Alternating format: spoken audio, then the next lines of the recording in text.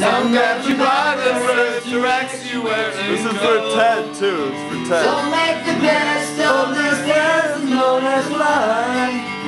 It's not a question, but a lesson learned in time. It's something unpredictable, but in the end it's right. I hope you had the time of